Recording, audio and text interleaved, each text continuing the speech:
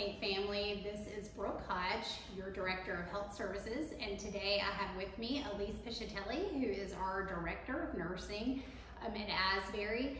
And we wanted to take this opportunity to um, film this recording for those who were unable to join us for the in-person um, in-services that we did last week and be able to get the information to you guys um, so that you would be aware of Aldersgate's processes, um, kind of a background of COVID, and also um, have the opportunity to present you guys with questions that your teammates have asked, and we wanted to share those same questions with you um, with the answers so that you would be um, equally as informed. So today um, we are going to talk about COVID-19, which is the topic that none of us can escape. Um, if you turn on your television, your car, um, your cell phone, we are just being inundated and flooded with COVID. And so why is COVID important? Why is this um, new virus strain that has really taken over the United States and globally, why is it of, importance to us um, here at Aldersgate? So I want to take a step back and first talk about um, what is the coronavirus? What is COVID-19? Why is it everywhere? Why is it, um, you know, on every media outlet? Um, you can't look at your cell phone, Facebook, all other forms of social media without seeing the coronavirus. And what made this particular virus um, so important and so noteworthy? When we posed this question um, to the group, um, kind of the um, overall consensus was it's so important because it's, it's killing a lot of people. And, and that is true, it is killing a lot of people, but in fairness, there are lots of things that kill um, a lot of people that have not gotten the attention that COVID-19 has. Um, we had um, H1N1 back in 2009 um, that frankly it um, killed over 200,000 people and infected um, around 30 million people worldwide. Um, but yet it didn't receive the same amount of attention that COVID-19 has. So what makes it so popular? COVID-19, it is the coronavirus. And um, the reason that it's called COVID-19 is because it is the coronavirus and that is where you get the CO from. The um, VI is for virus and the D stands for disease, and the 19 stands for when the particular strain was first identified, which was at the very end of 2019. And what makes this virus so newsworthy and so different from others is frankly how it came about. With the coronavirus, and it in itself, this particular um, family of viruses is not anything new to healthcare. Coronavirus has been around for um, I think it was first identified in the 1960s. So we've got you know many years that we have um, battled and the human body has fought um, the coronavirus. But what makes this particular strain so different and so um, intriguing and the fact that it's been able to cause so um, quickly um, infections throughout um, the US and frankly on a global level is really just how this particular strain came about. Um, most infections can happen from human to human. That's nothing new. Um, we, if I had something, I could easily um, affect Elise with something that I had if it was contagious. Um, it's also nothing new for an animal to infect a human. If I were to go out on a nice hike on a beautiful day and I were to actually get a tick on me, what's something that I could get from that animal? I could get Lyme disease. Um, so having an animal to human transmission is nothing new. However, if I get Lyme disease, I myself would have Lyme disease. I wouldn't be able to give that Lyme disease over to Elise. So therefore, animal to human and then human to human doesn't typically happen really quickly. It usually takes some time for that level of evolution to occur. And what was so unique about this coronavirus is how it really came about. So how did it come about? And the answer is we know that the first cases were identified over in a small province of China that was very densely populated um, of the Wuhan province. And so, um, and we know that there is um, kind of theory that it started in this, um, you know, kind of seafood market. And over a short amount of time, there were lots of people in this province that were presenting with kind of these unique uh, pneumonia-like symptoms um, that really were baffling to um, doctors and scientists. And as they drilled down to it, um, they were able to identify that it was a strain of coronavirus um, that has gotten the name COVID-19 since then. Um, and around the time that they were identifying all of these cases of um, the, these pneumonia-like symptoms in the Wuhan province, um, the Chinese government did alert the um, World Health Organization, which is abbreviated WHO, the WHO, and they uh, kind of alerted them they were seeing all these cases, lots of them in this Chinese province. And so again, having lots of people infected with, some, with something is nothing new. We've had the HIV AIDS epidemic that's been ongoing since 1981.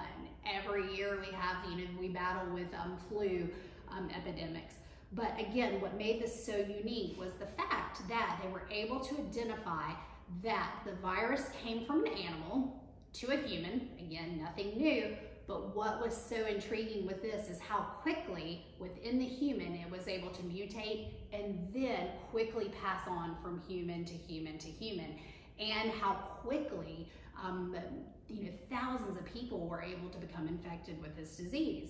So fast forward to present day and we can see that since really kind of that November, December timeframe, how it, it has affected us on such a global level um, with the number of cases.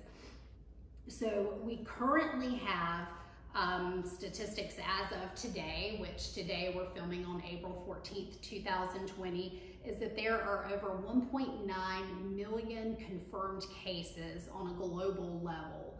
Um, for the United States, um, there have been a little over 582,000 confirmed cases in the United States. Um, total deaths, 120,000 um, worldwide, with 21,662 of those being in the US. If we drill it down even more specific, because a lot of times we tend to become very concerned when things start kind of closing in on our own personal bubbles. And if you look at North Carolina, we um, currently have um, over 4,800 confirmed cases of COVID-19, 86 deaths um, statewide. Currently, there are over 313 people in the hospital with a COVID-related diagnosis. And in Mecklenburg County alone, we are at a total of about 993 confirmed cases with um, 14 deaths for our county. So you can see how it started in China and how it made its way over into, you know, really our, our own personal bubble. So how did it get here? How did it get here from China? And so the answer is, as you guys know from a lot of our screening questions, kind of early on was looking at really that travel component. People that were going over to China as really a business hub and coming back to the United States um, or frankly, they were coming back to, you know, another country. And then we were having, you know, Americans go on vacation to these countries.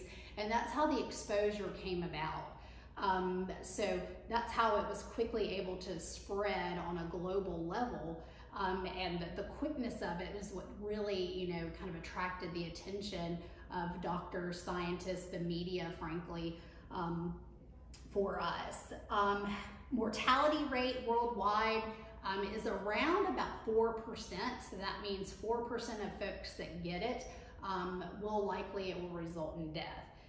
I want to caution everybody that these numbers that I have um, given to everybody, you have to really take them in context because the only folks that we know that are positive are frankly those that are getting tested for COVID-19 and as you guys know, the availability of testing for this virus is very limited, even um, as long as we've been battling this now.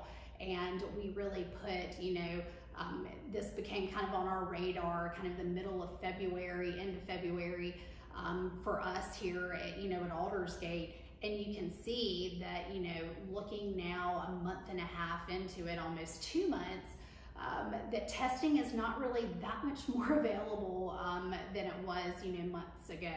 Um, they're really reserving tests for people that are symptomatic, and we know through um, kind of cases and observations that there can be people that um, may not show symptoms. So we've got people that could potentially be walking around that um, could have the virus that we don't know about. So the numbers are not always going to be accurate. You have to be tested to be able to be confirmed as having COVID-19. So we probably have seen deaths um, at a local, state, national, and global level that are not going to be um, counted as a COVID-related death if frankly they were never tested. So that kind of gives you a background of how the coronavirus came about, how did it come to the US, and uh, what are what are we doing about it? What is the US doing about it? And more importantly, what is Aldersgate doing about it um, to be able to protect our residents and our team members um, from keeping this virus um, out of our community? And thus far to date, we do have zero confirmed cases in our community, which is really incredible when you look at um, you know, surrounding counties, really even within our county, um, outbreaks that are occurring at other nursing facilities, other continuing care retirement communities, because you can see that that has not been the case um, for, for everyone. We've been very blessed here at Aldersgate to have weeks to be able to prepare um, for what may come, and I, say may because we hope that um, that it won't come. But um, if it does, we are ready to to fight back with our plan. So our plan that we have been really um, tackling, and, and our plan has included, you know, roundtable discussions with with everyone, looking at, you know, having the social workers, life enrichment, um, our medical director, nursing, culinary, housekeeping, um, really just having all those players um, around the table to, to look at the plan, look at where do we have holes, where are there opportunities that we really need to drill in. And that's how our plan um, here at Aldersgate has come about. We had a plan very early on when we had very um, low risk or frankly no risk at all. And what did we do at that time? That was really early on restricting our visitation um, to our community. It was not a popular decision, obviously, with um, a lot of our residents and our family members, because that is hard um, to make that decision that you're not going to be able to physically see your loved one. And that's um, hard for people, especially those that, you know, come every single day to see their, their family member. Um, but knowing the greatest risk um, to our elders was going to be coming from the outside um, in. So we made that decision very early on. Um, we also started doing away with communal dining, um, delivering meals to our independent living residents so that they would stay in their space, not having you know dining rooms open in our healthcare areas so that folks weren't um, you know close together during dining. So these were kind of the you know early things that we did. We started doing huddles um, with our, our team members to really look at every single aspect of, of things and have those daily discussions with each other of um, what we need to do. And we'll talk a little bit more about um, what Aldersgate's plan is and what you can do to um, really protect yourself and your residents and frankly your family members and other loved ones that you come home to um, when you when you finish work.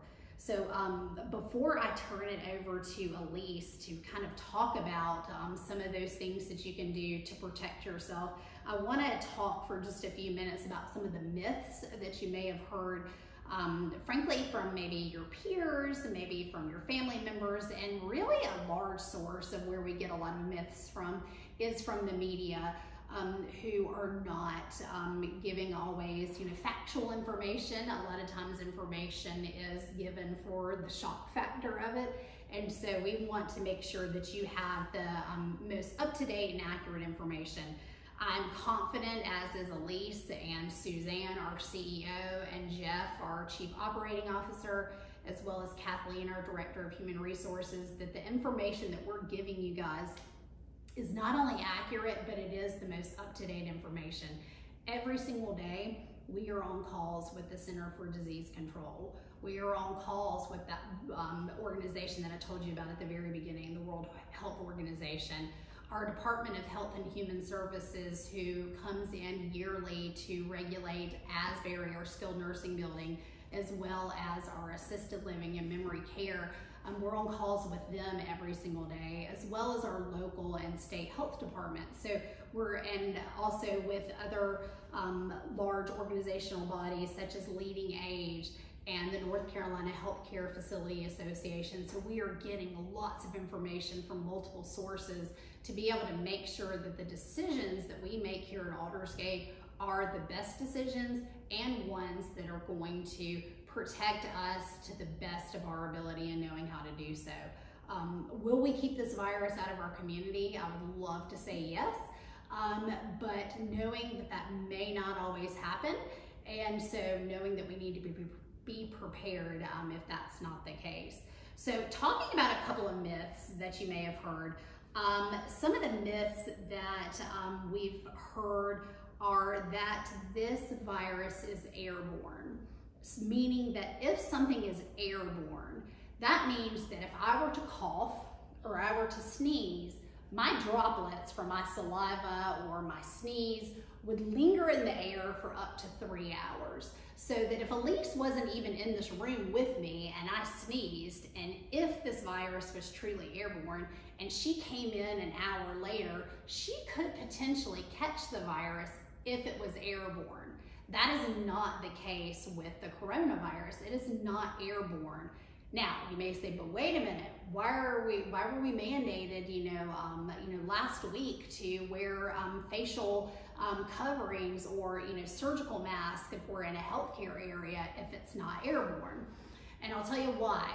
If you are maintaining that social distance that's been recommended, and you've heard it so many times, of that six feet of distance um, between you and someone else, which I know we're, we're close here for the sake of filming, but that six feet is the distance that you need to safely maintain your distance with someone. And that would actually not even require you to wear a facial covering um, because this disease is not airborne, it's droplet. So if we are six feet apart from each other, the likelihood that she is gonna get this virus from me is it's, it's not gonna happen because this virus does not linger in the air. The likelihood that something coming out of my mouth, a sneeze, a cough, saliva, is going to get within her for six feet is highly unlikely. The reason this virus has become so contagious is because the second component of it, there's also a contact component to this virus. Meaning, if I sneeze into my hands and then I touch something or I touch this paper and then Elise comes behind and she touches it if I was infected, and then she then touches her eyes or her mouth, she could get the COVID-19 um, if that was the case. So the reason we're seeing so many infections is not so much because we're close and I'm sneezing on her, because that just doesn't happen, you know, in your day-to-day. Unless you have children, you're probably not getting, you know, snotted on or sneezed on um, on a regular basis. It's more likely that I am not washing my hands, which is the best thing you can do, which Elise will talk about, it's not so much the sneezing and coughing in that close proximity, it's that contact. Be touching things, someone else not washing their hands, and then you're getting some portal entry, mouth, nostril, eyes, ears, um, opening in your skin, and that's more likely how people are getting this virus. It's not from the um, being in the air component of it. So that's one myth that I wanted to dispel. People have put a lot of, um, you know, credibility and credence into, oh, I have to have a mask to be protected from, from this virus. And really and truthfully, it's the hand washing that's gonna protect you from this virus. It's not the facial coverings, which Elise will talk about in a little bit. Um, another um, piece of this is, um, you know, the age piece of it that frankly, if, you know, I am not elderly, um, I don't have to worry about this, you know, disease killing me. And I will tell you that that is grossly untrue. This virus is affecting all ages. We've seen um, babies that have passed away from this virus all the way up to the elderly. So it is affecting everybody equally. It's also affecting men versus women equally. Um, it's been very interesting that um, you know, we were expecting that for the elder population, it to really hit them the worst. And that's frankly not been the case. Um, with the elder population, the likelihood of mortality, meaning the likelihood that they will die, is far greater than, say, someone who's 20 that contracts the virus. But the contraction, as we have seen, that it has been really the highest in kind of that, you know, late 20, early 30s to mid 50 age group um, that we're seeing. Novant, um, and I haven't seen what their ICU looks like for this week, but as of last week, the majority of the folks in their ICU related to COVID that are on respirators have been men that have been kind of in that 40 to 50 age group. So to think that it's only affecting, um, a, you know, a, a negative um, impact on our elderly is just not true. Everybody needs to be aware of this virus and what you can do to protect yourselves. Um, with our elders, though, it is far likely, um, more common for it to be fatal for them just because with aging, your immune system um, naturally tends to just go downhill with aging. Um, so, and then also with aging, you're far more likely to have other comorbidities. And what a comorbidity may mean is that they may have heart disease, they could have COPD, um, they could have renal disease. So having those comorbidities on top of being um, an, you know elderly is um, really predisposing them to a higher mortality rate than you know the fairly healthy you know 30 year old that may get the virus. Um, so I wanted to put that myth out there as far as age. Um, also, when it comes to um, kind of racial um, myths that have been out there. We had a lot of team members who were expressing that they had heard that if you were African American, that you were far more likely um, to not contract COVID-19 and that you were far better protected than people who were non-African American. And I'll tell you why that, um, that myth kind of came about is because early on, um, there is a huge map um, that John Hopkins puts out um, and they update it every hour and it would show you, um, it had the whole, um, you know, world on this map and it would show you kind of the hot areas of where um, a lot of cases were creeping up and kind of early on you would see China was really lit up red and you would see that um, Italy was really lit up red with what they were going through and then obviously the United States was really lit up red and so the continent of Africa for, um, for a little bit of time um, was not showing the same um, hotspot areas as other places. And so um, folks were incorrectly thinking, hmm, okay, so uh, it looks like there may be a level of protection um, for Africa, and that is just not the case. The reason that the, we are seeing lesser cases in um, Africa, and frankly, even in the United States with um, African Americans, was the fact that health disparities still exist. COVID-19 did not take that away, and it is a very unfortunate um, reality of healthcare that um, the access to healthcare for someone that is African American is frankly it's not the same as someone who is Caucasian and so um, there have been studies that have been done that have shown that um, for Caucasians and frankly other um, you know racial groups that testing has been done far more prominently than with African Americans. And so if you're again, kind of back to my earlier point, if you're not testing someone and showing a positive, then you can't capture that as a positive. So it's not saying that the African American population were not um, getting COVID-19. It was just that access to health care and the availability of testing being done on them that just wasn't happening. So know that all races are equally affected and predisposed to this virus. It really just comes down to that access to health care um, that, that we were seeing um, with this. Um, the final myth that I just want to touch um, on is that if we can just get to the warmer months, COVID-19 um, will will go away, kind of like with the flu. You know, once we once we start seeing, you know, April, we're like, oh, great, we're out of flu season. We don't know that for a fact right now. It is, um, you can see that Florida, which is warm pretty much year round, has been hit really hard, um, you know, with this virus. And it is not, the virus is not paying attention to heat and, uh, you know, slowing down cases. So um, we don't know if warmer months are going to, um, you know, be in our favor. Time will tell as we learn about this virus. Um, I think that a huge component of it is that social, you know, distancing is the most important thing you can do. And typically in warmer months, we're outside more, we're not cooped up. And so being outside, um, we typically are, you know, more spaced out when we're, you know, doing sports and things of that nature. Um, so that's typically why we see a decrease in, um, you know, infection rates um, when it's in the, the warmer months.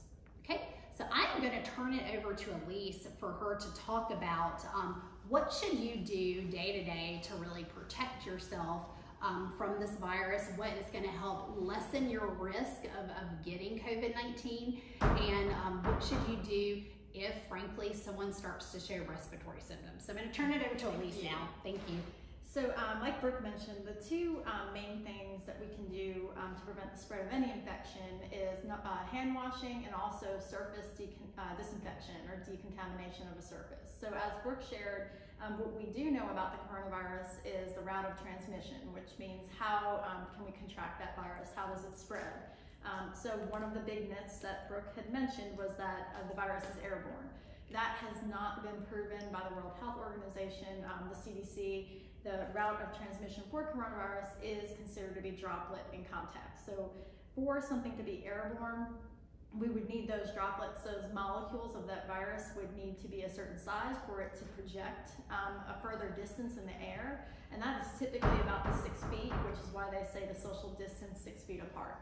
Um, so for coronavirus, the droplets are too large, um, so they will not suspend in the air for a long amount of time which means that you have to be within close proximity to someone that would sneeze or cough for those droplets um, to possibly come into contact with yourself or for you to um, inhale them so that way um, you then you could possibly contract the disease.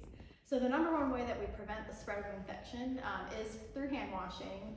We all know that we should be washing our hands for a minimum of 20 seconds. And when you are washing your hands, you want to have your fingertips pointing down. Um, you are going to make sure you have enough soap on your hands to lather all surfaces. And you're going to start with palm to palm, uh, making sure you're getting a good lather with the soap. And then you're going to interlock your hands, um, doing the outsides of your hands on both sides.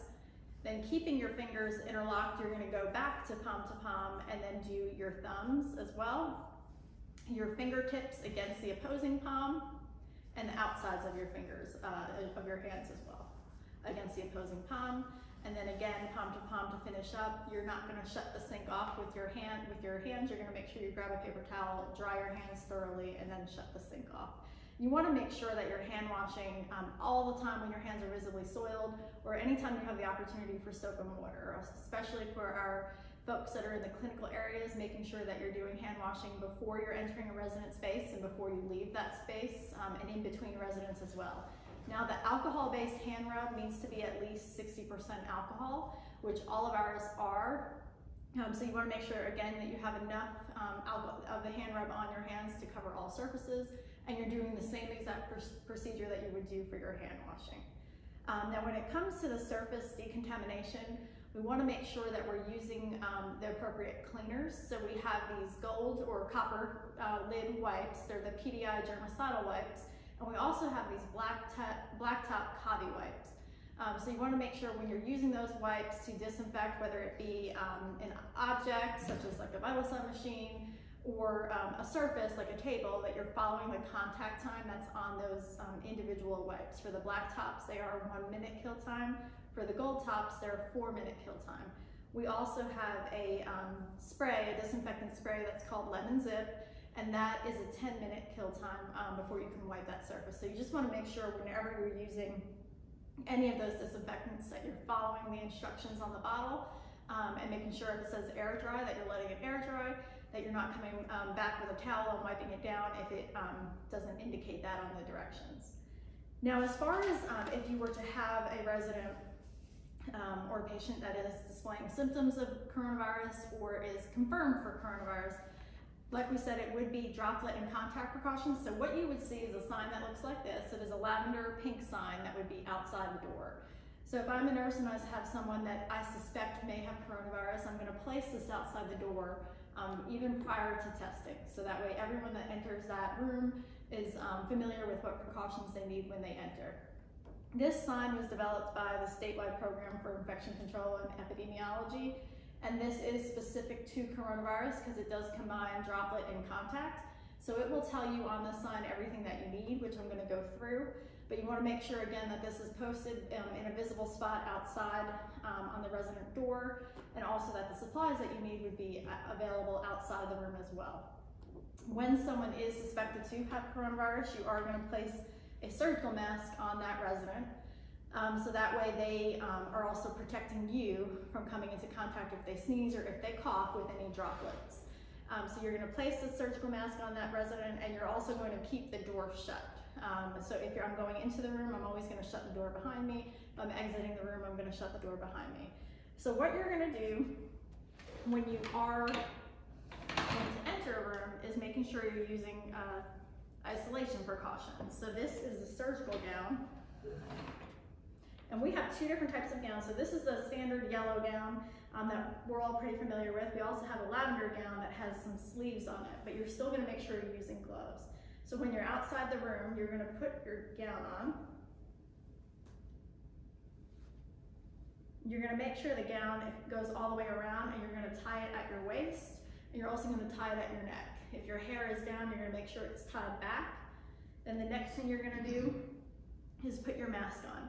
Now, there is a lot of controversy over the masks, such as surgical masks or N95. So if I'm going in um, to do a routine, to just give medications to a resident or to go sit with a resident, do an activity, I'm going to use a surgical mask. If I'm going in to do anything that's considered an aerosol generating procedure, so something that's going to increase the risk of bronchial secretions such as suctioning or nebulizer treatment, then I'm gonna use an N95 respirator.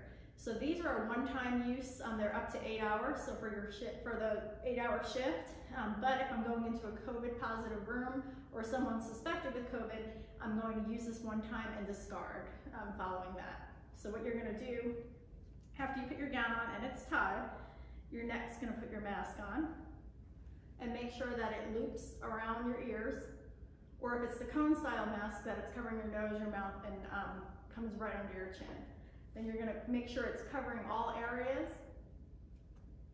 Then what you're gonna do next is use your eyewear and put your eyewear on. These are safety glasses. We also have safety goggles. If you wear glasses routinely, you still need to use either protective face shield or the safety goggles. Um, your glasses are not gonna be sufficient. And so these, you wanna make sure you put them on and that they're covering on all sides these are also reusable and can be cleaned with the um, EPA registered, those gold top wipes or those CaviWipes. And then the last thing you're gonna do before you enter the room is put your gloves on. You wanna make sure your gloves are coming over the gown and that they're the right size where they're not gonna fall off or be too tight.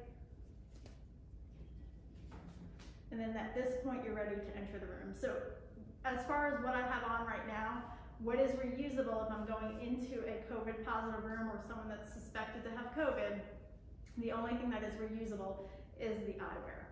Um, and so we would have a separate disposable bin for you to put those in so we can clean them. So then I'm gonna enter the room, I'm gonna shut the door. If I'm administering medications or whatever I'm in the room for, I'm gonna make sure that when I'm in the room, the resident also has their surgical mask on um, when I'm interacting with them. Then the last thing you're gonna do is when you're all done, you're gonna make sure you're near the exit um, by the trash bin. And what you're gonna do is you're gonna do the opposite as far as taking off. So you're gonna start with one glove, you're gonna pull from the outer surface and roll it down. So it's in your gloved hand. This is not a clean hand because you wanna make sure that you hand wash once you're done taking all your PPE off. So then with your um, other hand, you're gonna Go from the inside of the glove, not touching the outside, and roll it down. And then you have your gloves, you're gonna discard those. The next thing you're gonna do is take your eyewear off, and you're gonna take your eyewear off from the sides. So you're gonna take off from the sides, put those in the bin that's going to be recleaned and recycled. Then the next thing you're going to do is your gown. So you're gonna untie from the neck and untie from the back and you're gonna roll it down so you're not touching any of the contaminated surfaces, which is everything that's on the front side of your body. You're gonna roll it down into a ball. And so you're rolling away from your body and you're gonna discard. And now your mask, you're not gonna take off until you leave the room. So you're gonna shut the door and right outside the room, you're gonna pull from the straps and lift out. So that outside surface of the mask is not coming into contact with your body. Then um, if it's an N95, you're gonna pull from the bottom strap first and lift it over your head and then the top strap so that again, that mask does not turn over and the outside won't contaminate or come into contact with your skin. Um, some questions we get a lot are the reuse of the N95s. Um, and right now OSHA and the CDC has said that we can reuse the N95s. Um, so that outside filter is what um, is blocking the respiratory particles from you inhaling those particles or coming into contact. And so there are a few different methods as far as disinfection and one that we will um, be following is the heat disinfection. So placing those in an oven at a low temperature for 30 minutes to disinfect the outside. And then also UV disinfection, um, which we will um, have those instructions out for you once the UV disinfection uh, process starts. They're also, once they are clean, so if I'm taking off an N95, I'm gonna put it in a Ziploc bag, not touching the outside surface again when you're taking that off. Then um, once it's going to get cleaned, it will come out of the Ziploc bag and be cleaned and then be placed in a brown bag for reuse. Um, they are reused per individual, so if I have an N95 and it's re-cleaned, it's not gonna be given to Brooke after to use. So it's gonna have my initials on it and how many times it's been cleaned with a check mark. Great. Thank you, Elise.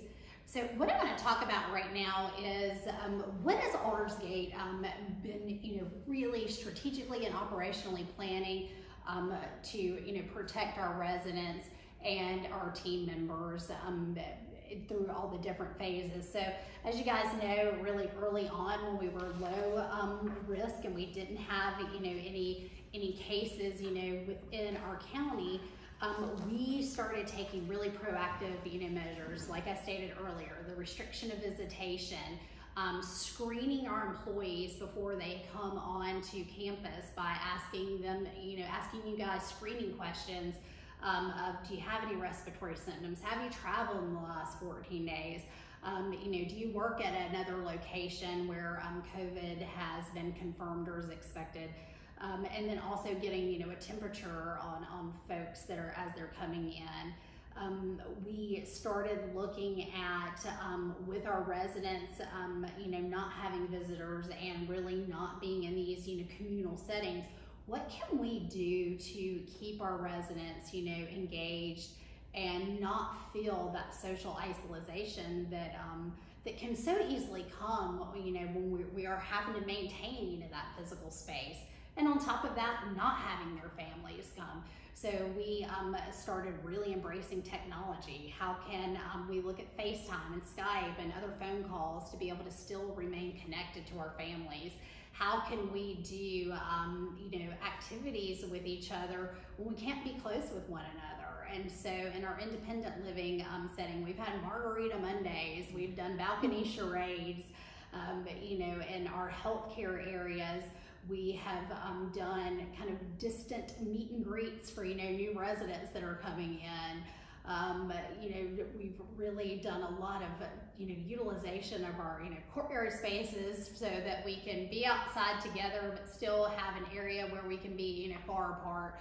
Our chaplains have really had to kind of redesign how we are doing our worship services um, and again, embracing technology to stream services and do more smaller group settings for, um, for uh, the worship services and that spiritual engagement.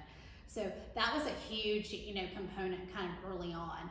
We have tackled all the way to the worst case scenario where kind of best case is having no cases ever to touch the campus and the worst case scenario is what's called a surge where you have you know multiple positive cases that are cropping up frankly all over campus and so what does that look like? And what thoughts have we put um, behind that? We have been really um, intentional in looking at how would staffing look because that's going to be a huge component. As residents if they're getting sick the likelihood that probably team members are as well. And how does that look?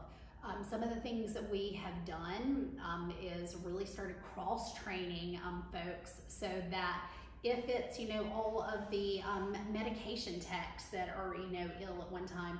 Could we have you know randy as our information technology guy to be cross trained to um, you know help out as a, a, companion and do personal care? Um, could elise who's the director of nursing who is used to the clinical task can she be cross-trained to help out in the kitchen if it's culinary that's you know struggling? So doing that really um, kind of cross-training with multiple disciplines looking at how would shifts look um, you know for our team members um, if we started dropping you know numbers um, still really being aggressive with our hiring and tapping into the fact that um, while it's so unfortunate you know for our economy that um, folks are being laid off, you know, in the restaurant industry and the hospitality industry. Frankly, even at hospitals, um, folks are being laid off because all of those elective surgeries um, are just not happening. And so really um, tapping into that market to bring people on board here at Aldersgate um, so that we have, you know, a good pool of, um, you know, team members.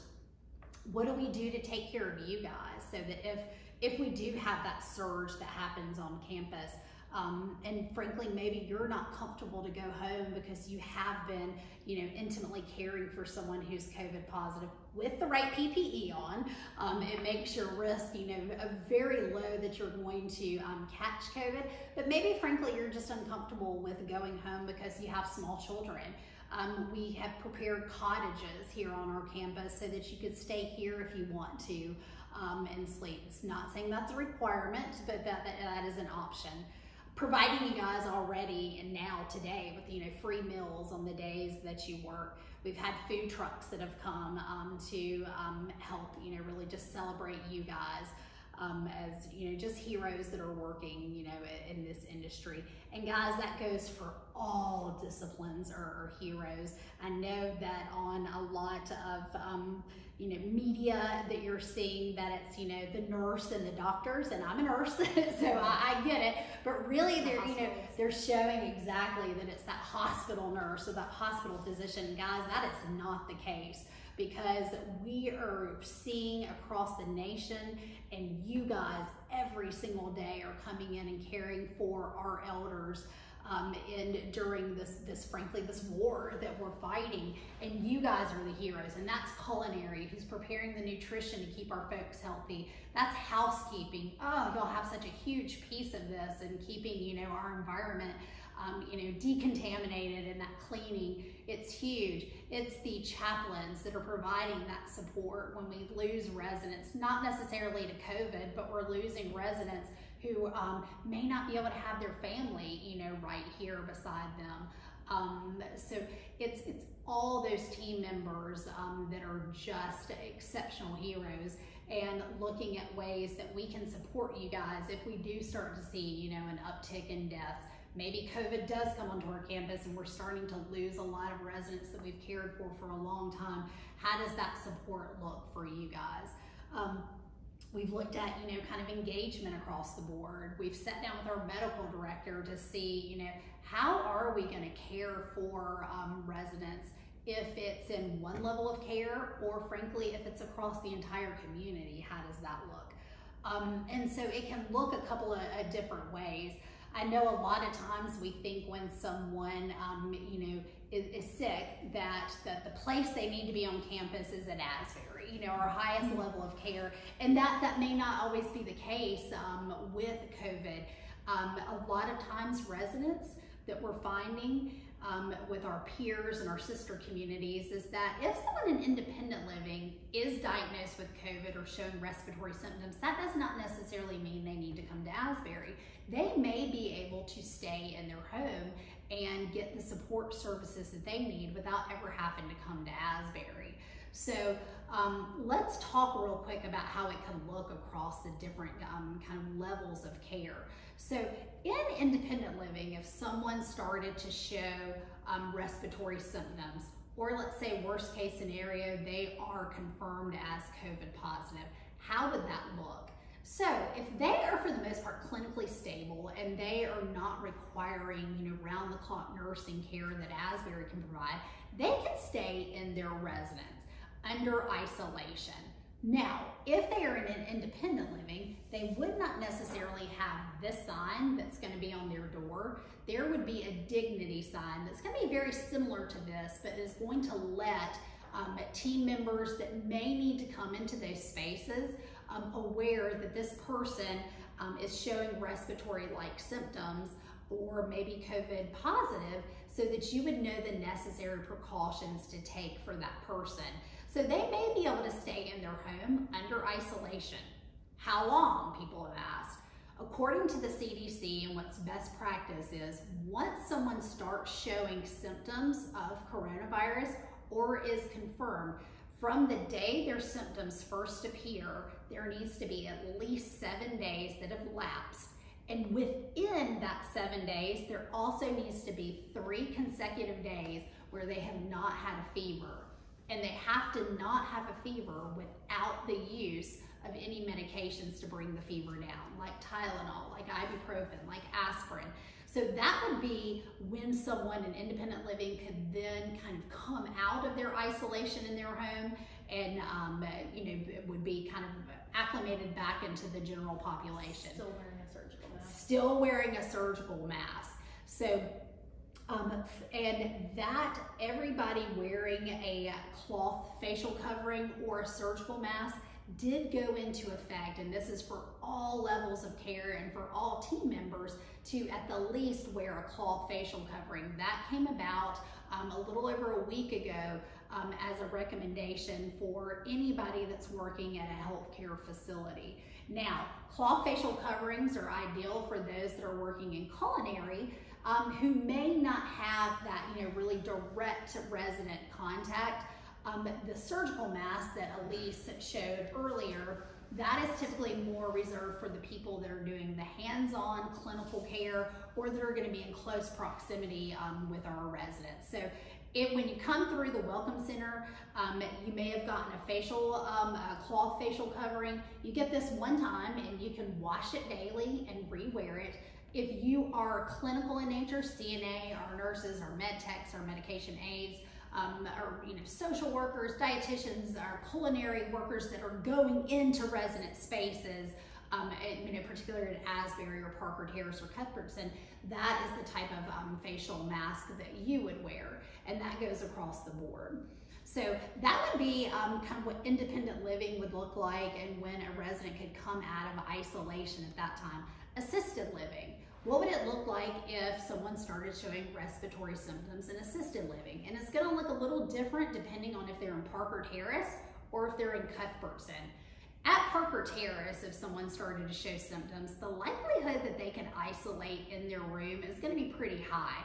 You would see a sign like this on the door, and you would initiate all those precautions that Elise talked about earlier, and they would be able to stay in their space because they would be able to cognitively um, understand what isolation entails and that they can't come out of their room and um, they would need to wear you know a facial mask when you know the caregiver's in.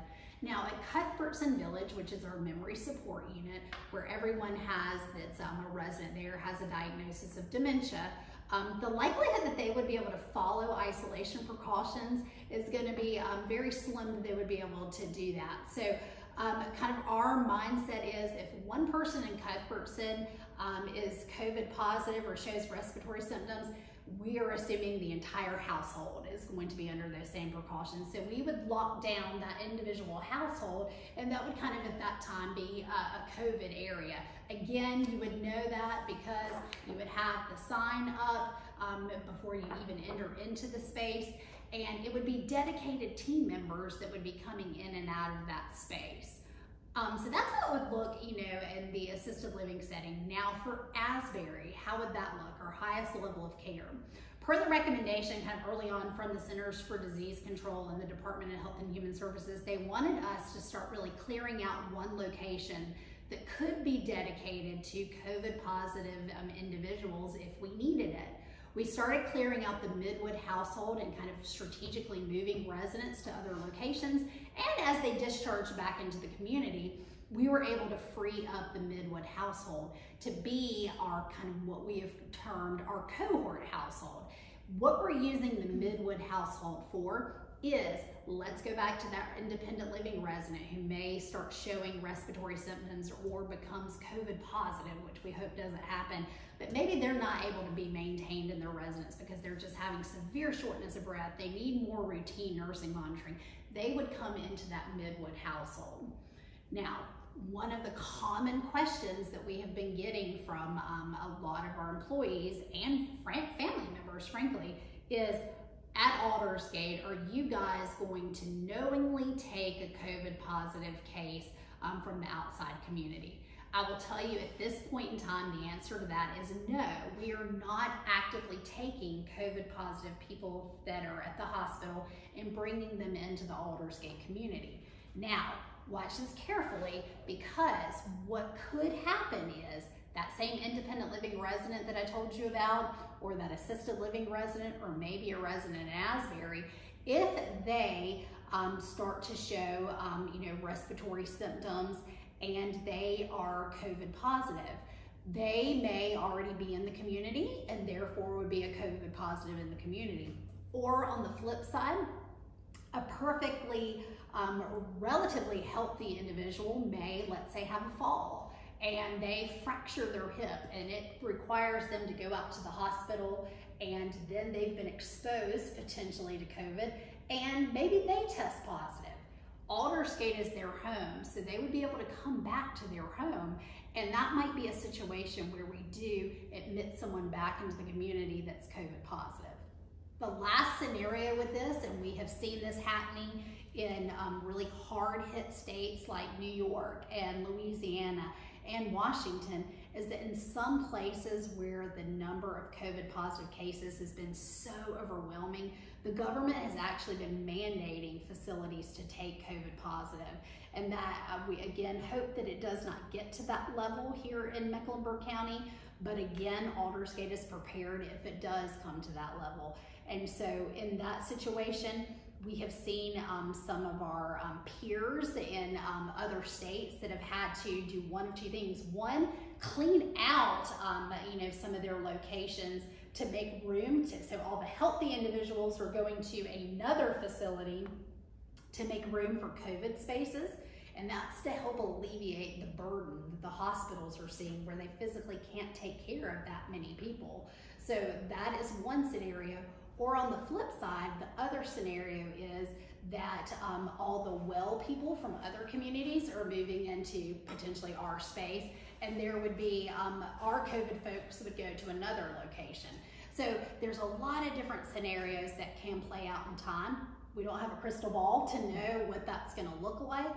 Um, but that those could be scenarios where um, COVID could enter into our community um, and it's not, you know, an intentional move with COVID coming. That's just something that could happen. Um, also, we have been very intentional here at Aldersgate that we do not want people to lose their jobs. Um, we see the devastation that is happening, you know, uh, throughout the United States with the unemployment being the highest it has, you know, been in years um, the stock market and the economy taking you know the hardest hits that we've seen since you know the Great Depression and really in 2008 when the stock market tanked. We're seeing it to that level. And so that is why we are doing things here at Aldersgate like cross training folks to be able to use people in spaces um, that they may not normally um, work in. And in doing that and to be able to operate Aldersgate we have to have revenue that's coming in and so we have to continue taking admissions because Aldersgate is a huge chunk of our revenue that frankly pays for everybody's salaries. So when you see admissions still coming in, that's not a bad thing necessarily. Yes, it does expose us to some level of risk to this virus, but we also have to look at the financial risk of not taking um, admissions altogether, and that would be a huge chunk of our revenue which would mean a huge chunk that we would take a hit to that contributes to paying all of our salaries. So um, just wanted to, you know, put that out there as far as taking COVID positive cases. Um, another question that we have been getting a lot is what can I do to protect my family when I go home? Um, so a lot of fear around, you know, I may have been taking care of someone that's COVID positive um, or somebody with respiratory symptoms that we suspect is COVID positive. What can I do to protect myself and my family when I go home? Do you want to take this, Elise, and talk about that? Yeah, so um, as Brooke shared earlier, if you're wearing the appropriate PPE with, in, in taking care of someone that may be suspected to have coronavirus or confirmed coronavirus, you are considered a low risk by the CDC. If you have no PPE on and you're greater than six feet away from someone with coronavirus, you're also considered a low risk for um, transmission.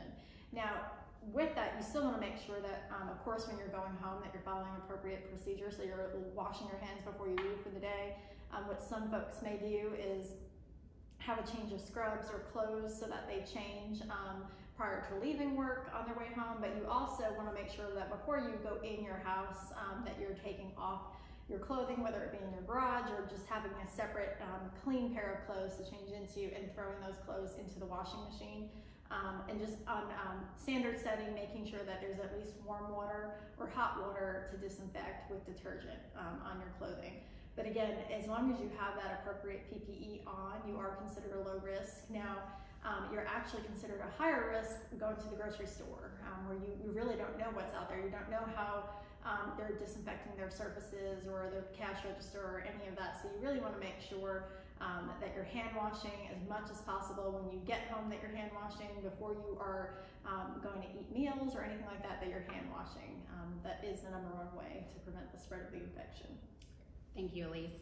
Um, another question that we've gotten um, that was a, kind of a common question is what should I wear while at work to protect our, myself and our residents? What should I also wear when I'm at home or out in public to protect myself? So again, we talked about how when you come through the Welcome Center um, at Shamrock um, on the days that you're working, um, a lot of you have been issued a facial um, covering, this cloth covering. One time you get issued this and it can be washed daily. And this was reserved for really, you know, maybe the culinary worker that's in independent living. If you're working in marketing, really kind of those um, non-direct um, patient or resident contact areas that you can wear this. Um, if I am at my individual work area, yes, I can pull my facial covering down. I don't have to wear it all the time. If I'm in culinary and I'm actively preparing food, um, you do not have to wear a facial covering. Still follow the same recommendations that the FDA puts in place for safe food handling. Um, you want to still follow those. However, if I come out and I am now in close proximity with one of my coworkers, I absolutely want to make sure that I have on um, a facial covering um, to lessen the risk of exposure um, to my team members.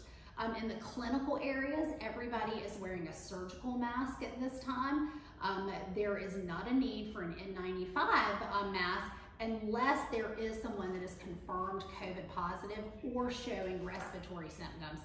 The N95 mask, actually, you would wear this type of mask for the majority of the interactions that a nurse, a CNA, culinary, housekeeping, social workers, dietitians, anyone coming into that space would still wear a surgical mask in a COVID room. The only time you would wear the N95 mask is if you were doing things that would produce aerosol producing particles. And that is typically if I'm suctioning somebody, if I'm doing a nebulizer treatment, if, and we don't do this here, but if I am, you know, intubating someone, those are the type of um, activities or tasks that someone may be doing that would um, warrant someone wearing an N95 um, mask. So um, wearing that on a day-to-day -day basis is, is not recommended. Um, you want to utilize that for when there is a confirmed COVID positive um, case. So um, we have actually put out several documents, Elise and I have, and you can get those from your manager that will walk through your department and different scenarios that you may encounter and what PPE would you need um, if someone is has respiratory symptoms. Maybe they're perfectly healthy or maybe they're COVID positive. What do you need to do to protect yourself? And we have those documents. Elise also put together a very nice disinfecting um, uh, document that'll show you um, how to disinfect certain PPE that can be reused. And then another document we have is talking about kind of isolation timeframes. How long, if someone's COVID positive, do they need to stay um, in their, their space. Um, if I am, you know, showing symptoms of, you know, respiratory illness, how long do I need to, you know, stay out of work for? Human Resources has also put together a frequently asked question document that you can obtain from your manager as well that goes over certain things such as um, I'm out for respiratory symptoms. Do I have to use my top time? Um, so a lot of answers to those questions that you can find on those frequently asked questions. Um, as far as what do you need to wear when you're at home, again, maintaining that social distance from your loved ones is um, still recommended even when you're in the home setting. Um, if you're going out to the supermarket or to another store, that is where the risk is going to be the highest for you guys. It is not going to be here at Aldersgate. It's going to be out in the stores that's a far less controlled environment than here. And again, the cloth facial covering is recommended so that, and, and this is frankly, guys, this is not going to protect um, you from getting it from someone. This is frankly protecting others. Um, if you have something, people get very um, kind of disillusioned and think that wearing any type of facial covering is protecting me if I have it on. That is not the case. These are protecting other people if I am what we call an asymptomatic carrier. So don't think that masks are protecting you, even the N95s, even the cloth facial coverings. What is gonna protect you during this time the best is washing your hands and socially distancing. That is why the government, the CDC, the World Health Organization, that's why they've preached that the most, okay? Um, how are new admissions handled at the different levels of care? We've kind of talked about that. If someone is healthy that is moving in from the outside community into independent living, we are asking that they stay in their residence for 14 days. You do not need any personal protective equipment for those folks because frankly, they're healthy. You don't start personal protective equipment until people start to show symptoms. You will already have your facial covering um, in place, which is really, even if they were COVID positive, there's not much more when it comes to PPE that you would be utilizing anyways. So those new admissions coming, they would need to stay in their residence for 14 days. What about new admissions that are coming into Parker Terrace or into Asbury? Parker Terrace, again, they would self-isolate into their, their room. And again, PPE would not be needed unless they start to show symptoms. New admissions from the hospital that are coming to Asbury would come back through that Midwood household. Do you need PPE for those folks coming from the hospital into Asbury? We have had multiple conversations with the Centers for Disease Control and the Department of Health and Human Services. The answer is no. You would still just need your surgical mask to care for these folks and use your standard precautions. If they start to show um, respiratory symptoms, then you would initiate um, the further um, kind of COVID precautions and put those into place. When can they come out of their spaces? Remember, if they're showing no respiratory symptoms, cohort them for 14 days and then they can come into the general population. Once they start to show symptoms, it's that seven days from the start of symptoms with three days being fever free, okay? So I know that's a lot of information to throw at folks, but there is frankly a lot of information that comes with COVID. If um, we did not answer a question that you may have, um, you know, kind of formulating in your head, we have designed an email um, portal that you can submit questions to. That portal is called COVID-19 questions at aldersgateccrc.com. So that's COVID, C-O-V-I-D, the number one, the number nine, questions with an S at the end at aldersgateccrc.com. So please submit us questions um, as you have them. If you have concerns or thoughts, please do not hesitate to reach out to Suzanne Pugh, our CEO, Jeff Weatherhead, our COO, Elise Piscitelli, who is really the clinical voice for COVID-19. You can reach out to her, or please reach out to me as the Director of Health Services, Brooke Hodge. Um, thank you so much for your time. We are so grateful for all of the workers here. Our elders need you in this war because this is what it is, is a war, guys. We don't know when the enemy is coming or if it is going to come, but our elders need you guys now more than ever because we are seeing that them getting good care in the hospital is just not happening. They are really ushering our elders out to make space for healthy, younger individuals who need the respirators, and that's such a disservice to our elders. And we know here at Aldersgate, because of you guys, they're gonna get good care, and that's why we need you guys so much, okay? Thanks so much for joining us for today, and we will see you soon. Bye-bye.